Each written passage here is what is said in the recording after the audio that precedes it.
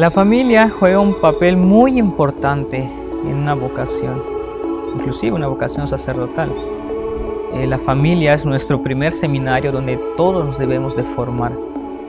La familia es importante porque ellos son la semilla para poder crecer en el amor, para aprender a levantarnos, porque siempre tenemos caídas.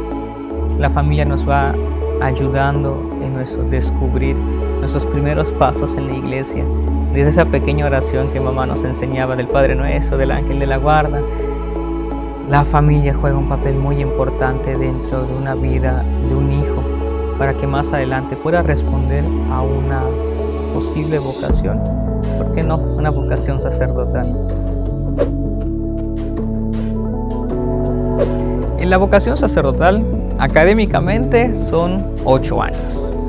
El primer año, que es la etapa catecumenal, la siguiente etapa, que consta de tres años, es la etapa discipular. Y la siguiente es la etapa teológica, o también conocida como una etapa configurativa, que consta de cuatro años.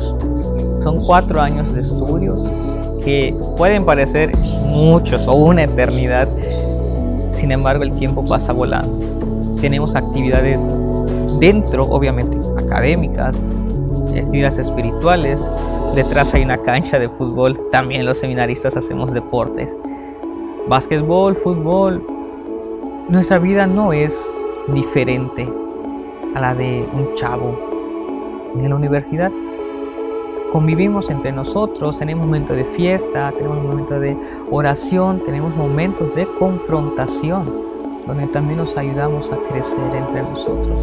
La vida de un seminarista no está tan alejada de la vida de un chavo dentro de una misma sociedad.